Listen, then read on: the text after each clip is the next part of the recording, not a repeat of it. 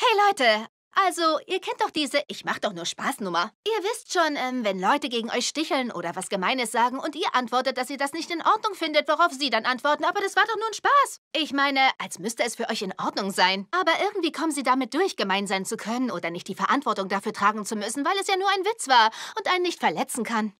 Ich kann das nicht ausstehen. Es. Es gibt einfach so viel gemeinen Humor heutzutage und es ist total normal geworden, dass wir wohl alle manchmal Witze machen, die echt ein bisschen fies sind. Und wir überhaupt nicht begreifen, welche Kraftworte haben können. Oder? Ich meine, wir sind jetzt nicht wirklich böse, aber ich finde, wir sollten mal innehalten und uns bewusst werden, was wir da sagen. Ich weiß auch nicht. Warum ich das hier anspreche, ist, weil Skipper und ich heute eine Auseinandersetzung hatten. Ich hatte ein Bild, das ich echt süß fand und total cool gepostet und noch einen witzigen Text dazu geschrieben. Und Skipper ist normalerweise total cool und voll locker, aber ich habe sie nicht um Erlaubnis gefragt. Was ich als witzig empfand, hat sie verletzt und ziemlich sauer gemacht. Und wollt ihr was wissen? Meine erste Reaktion, meine erste Reaktion war diese hier. Was denn? War doch nur Spaß. Warum fühlst du dich angegriffen? Aber auf diese Art habe ich sie irgendwie so auflaufen lassen und abgeblockt. Ich meine, Skipper war großartig. Sie wollte darüber reden, weil es sie gestört hat. Und ich versteh's. Die Sache beschäftigt mich schon den ganzen Tag. Ich meine, ich hasse es, wenn Leute, ich mach doch nur Spaß, zu mir sagen. Für gewöhnlich sage ich nichts, man möchte ja keinen großen Aufriss machen, aber es ist nicht in Ordnung. So, ich bin zu folgendem Entschluss gekommen. Nummer eins. Ich werde von nun an die Leute wissen lassen, wenn etwas nicht in Ordnung ist. Ich werde für mich einstehen und auch für andere Menschen. Und Nummer zwei, beim nächsten Mal denke ich kurz nochmal nach, bevor ich einen Spaß mache, ob nicht jemand meiner Freunde verletzt werden könnte. Oder es ist nämlich nicht okay. Richtig?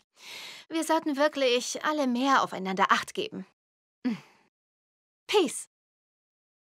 Wenn wir von etwas überzeugt sind, sollten wir uns dafür einsetzen und unsere Stimme erheben, wenn es um Themen geht, die uns am Herzen liegen. Ich liebe inspirierende Geschichten von Menschen, die aufgestanden sind und die Welt verändert haben. Aber das ist nicht immer so leicht, oder? Es kann einem schon Angst machen. Und darüber habe ich nachgedacht. Zunächst mal, niemand von uns ist allein. Wenn euch etwas am Herzen liegt, garantiere ich euch, dass es noch andere gibt, denen es wichtig ist. Zweitens, es ist wichtig, sich Gedanken zu machen. Ich meine, das ist doch wirklich der erste Schritt. Drittens, wenn ihr etwas verändern wollt, dann muss das nicht gleich Thema für alle sein. Es geht darum, dass es euch wichtig ist und ihr etwas sagt. Und zuletzt, den Anfang macht man wie bei allem anderen mit Babyschritten. Babyschritte schafft doch jeder. Das gilt nicht nur für Erwachsene. Natürlich könnt ihr euch Hilfe holen. Meine Freundin Nikki erfuhr, dass der Lebensraum des Blaureihers in Gefahr war, durch ein Bauvorhaben in unserer Region. Sie wusste nicht, was sie machen sollte, also hat sie angefangen, Fragen zu stellen. Sie hat mit ihren Nachbarn gesprochen, die wiederum mit ihren Freunden redeten, und ehe man sich versah, sprach die ganze Stadt darüber, und man fand einen Weg, die Vögel zu beschützen. Veränderung. Schritt für Schritt. Und alles hat damit angefangen, dass sie etwas gesagt hat. Jeder von uns ist eine wundervolle Persönlichkeit, die es verdient hat, dass man sie sieht und hört. Ich fühle mich nie gut, wenn ich meine Ideen für mich behalte. Die Welt braucht verschiedene Meinungen und Ideen. Ihr könnt keine Veränderungen bewirken, wenn ihr euch kein Gehör verschafft. Peace. Hi. Also, Theresa und ich hatten da vor einiger Zeit so ein Erlebnis und seitdem frage ich mich, ob euch auch schon mal sowas passiert ist. Theresa, Ken und ich waren Freiwillige bei einem Event in unserer Stadt. Es gab ein großes Brainstorming, um Lösungen für Probleme zu erörtern. Dieser Gruppenleiter hat irgendwie jeden meiner Vorschläge unter den Teppich gekehrt, um dann zu fragen, ob jemand anderes einen Vorschlag hätte. Als sei das, was ich gesagt habe, keine Diskussion wert. Oder als sei ich schlichtweg egal, was nun noch schlimmer wäre. Und Theresa erging es genauso. Dementsprechend waren wir einfach verwirrt und frustriert. Ken war dann auch frustriert, weil er unsere Ideen gut fand. Also hat er sie einfach wiederholt. Damit sie gehört werden. Und der Typ hat sie gehört. Und dann sagt er, super Idee, Ken. Oh, das ist genau, was wir suchen, Ken. Und ich dann so, was ist hier los? Also haben wir was versucht. Dabei habe ich etwas gesagt und eine Minute später sagte Ken genau dasselbe, Wort für Wort. Und der Gruppenleiter hört sich an, was Ken sagt und meint, super Idee, Ken, ohne überhaupt zur Kenntnis zu nehmen, dass ich auch etwas gesagt habe. Also wirklich, was soll das? Diese Woche ist Weltfrauentag. Und wie ihr alle wisst, ist das einer meiner Lieblingstage eines jeden Jahres. Also habe ich mir intensiv überlegt, mit welchem Vlogthema ich die vielen tollen Frauen würdigen kann auf der ganzen Welt. Mütter und Töchter und Schwestern und Tanten und Großmütter. Die Menschenfreundinnen und Wissenschaftlerinnen, die diese Welt zu einem besseren Ort gemacht haben. Die Künstlerinnen, die in ihren Werken alles verarbeiten. Und die Erfinderinnen, die uns voranbringen. Das sind die Frauen, die uns zeigen, dass wir die Wahl haben. Aber egal wie ich es drehe und wende, am Ende sehe ich immer dich und mich. Und unseren Alltag.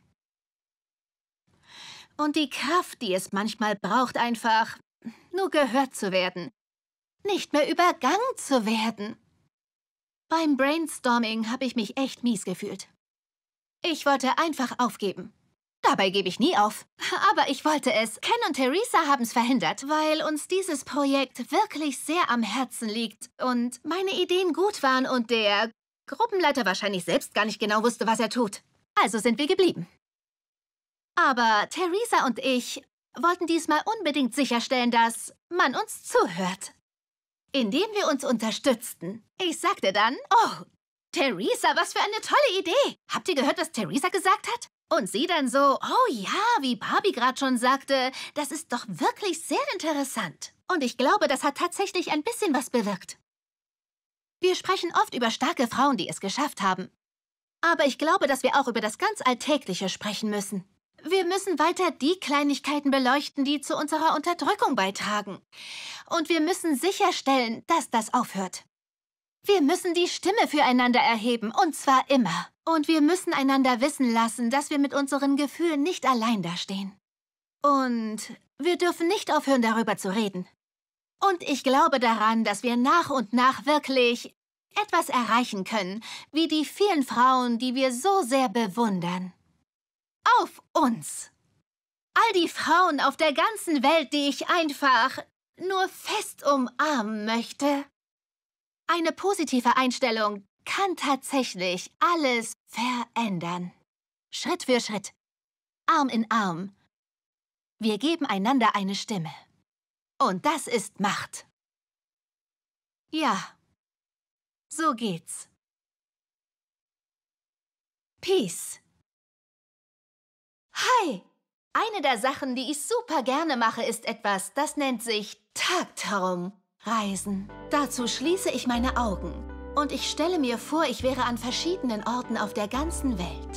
Orte, die ich eines Tages gern mal wirklich besuchen würde. Das machen wir Roberts alle. Und viele dieser Orte gehören zum Weltkulturerbe. Stacy und ich haben uns neulich zusammengesetzt und die Orte aufgelistet, zu denen wir gern mal reisen wollen. Wir wissen, dass wir es irgendwann dahin schaffen werden.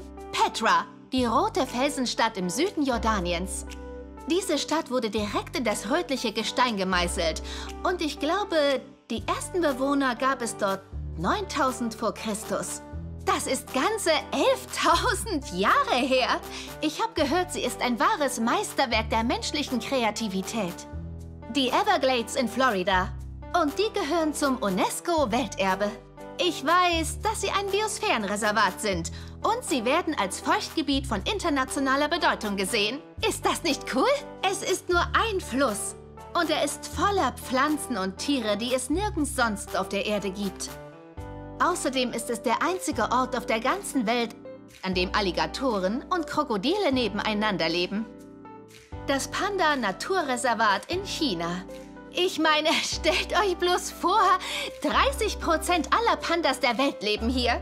Wusstet ihr, dass ein neugeborener Babypanda nur so groß ist wie ein Stück Butter? Aber bis zu 1,80 Meter groß werden kann. Der große Panda gilt als Nationalsymbol von China. Der Potala Palast in Lhasa, Tibet. Wir wollen unbedingt nach Tibet. Und wir wollen unbedingt zu diesem Palast. Traditionell lebt dort der Dalai Lama. Da gibt es 1000 Zimmer, 10.000 Schreine, 200.000 Statuen und viele wunderschöne Gemälde. Er ist der höchstgelegene Palast der Welt, 3700 Meter über dem Meeresspiegel. Und jedes Jahr wird der Palast von außen bestrichen mit braunem Zucker und Milch und Safran und was mir besonders gefällt, Honig. Ich meine, klingt das nicht einfach toll? Ich liebe die Vorstellung zu reisen und die Welt zu erforschen. Und es ist schön zu wissen, dass die Welt viel größer ist als ich. Es gibt so viel zu sehen, so viele Menschen, verschiedene Kulturen und Ideen, Essen, künstlerische Ausdrucksformen und Tiere und Pflanzen. Und ich finde es toll, ein Teil des Ganzen zu sein und mir vorzustellen, das alles zu sehen. Bis zum nächsten Mal, meine wundervollen Freunde von überall aus der Welt. Oh, welche Orte möchtet ihr mal besuchen? Peace!